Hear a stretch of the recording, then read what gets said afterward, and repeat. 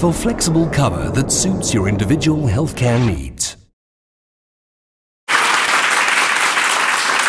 Thank you. Hello and welcome to the show. One in five people over the age of 35 have diabetes, and the majority of them are blissfully unaware of it. Thankfully, the good news is that 80% of type 2 diabetes is preventable, not curable, preventable through making the right lifestyle choices. And we're going to spend the rest of today's show helping you make those right choices.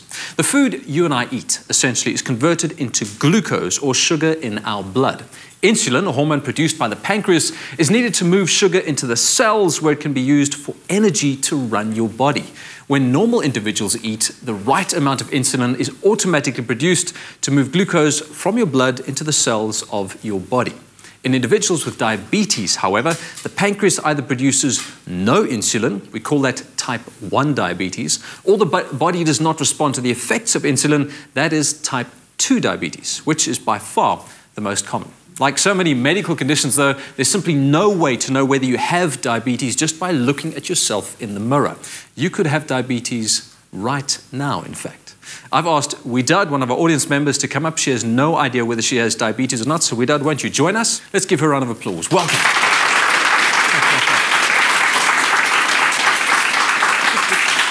So, Widad, for centuries, diabetes testing mostly consisted of a physician dipping his finger into a urine sample okay, and just sort of testing to see. No, I'm teasing. This is apple juice, but it, you know the, the, illustration is there. Testing to see if there's a bit of sugar in the urine. Thankfully, we don't have to do that anymore for doctors anyway. Uh, for patients, it means a bit of a finger prick, but it's called a random blood glucose test. Have you ever had a random blood glucose test? Um, no. Never. I don't think so. Can I, ask, can I ask how old you are? It's a terrible thing to ask. I know. Uh, 36. 26. 36. Okay. 26. 36. I just make you say it louder, that's all. So 36 and you haven't had a blood glucose test yet? Mm. Okay. Are you, do you think there might be a chance that you have diabetes? Is there diabetes in the family? Might be, yeah. Might be. Okay. So, so this could be an important test for you. Mm. Are you having second thoughts? no, I hope not. Because, no, no, no. Because we need to do this on a regular basis. You don't just yeah. test for diabetes once. You guys should go once a year, even. Who in your family has diabetes?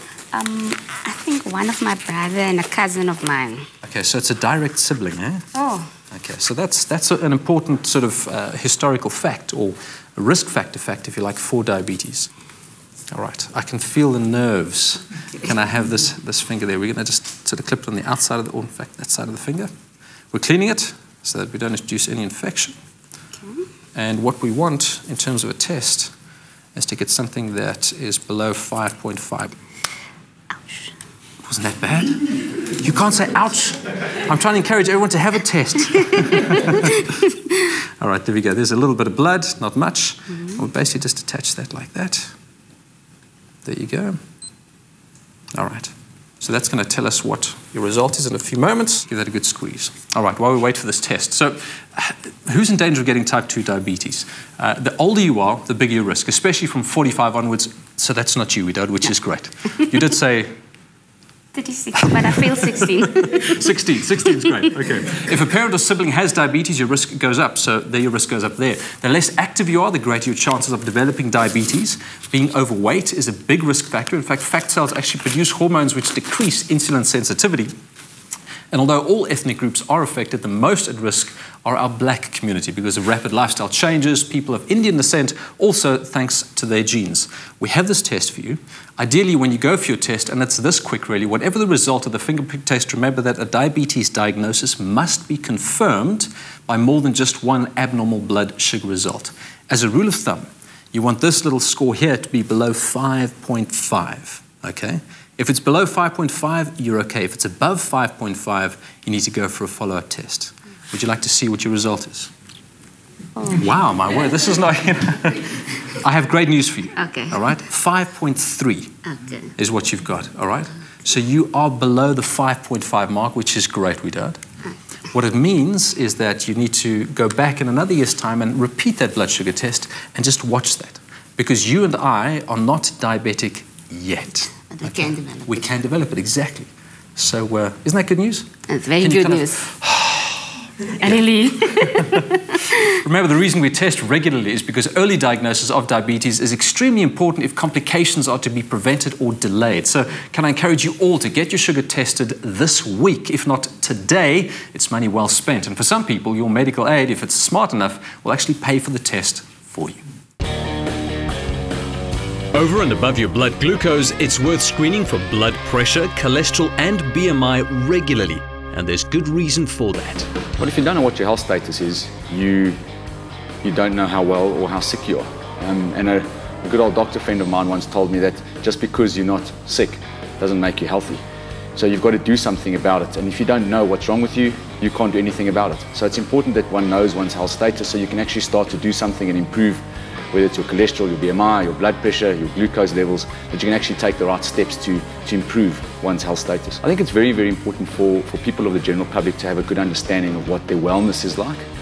not just physically, but also financially. So you need to understand, well, how well am I? Because that's going to have an impact on your healthcare and your healthcare status. And later on in life, there's one thing you'll never be able to buy back, and that's your health status. So you've got to take the points now to improve it and to make sure that it's good for, for when you really need it later on in life. The financial wellness aspect is as important. You know, the last thing you want to do is, is, is have no money later in life. So plan today, do the right investments today, make sure you've got a good medical scheme today, so that those types of things are not impacting um, on your wellness, your financial wellness later on in your life. For someone on our medical scheme, Momentum Health, it's important that you do the right thing first. And the first things, the first steps to, to, to rewarding oneself through our product is, is going through those, those sort of four marker tests, if you like, the glucose, the, the cholesterol, the blood pressure, and your BMI. The second step is, is starting to measure activity. And the more active you are, the more money we provide back. And that activity doesn't only necessarily have to be in a gym like this. It can be through playing golf. It can be through walking your dog. It can be doing all of those components which we just do naturally in, in, every walk of life. The more active you are, the more money you earn back. Save up to 35% on your contribution with Momentum Health.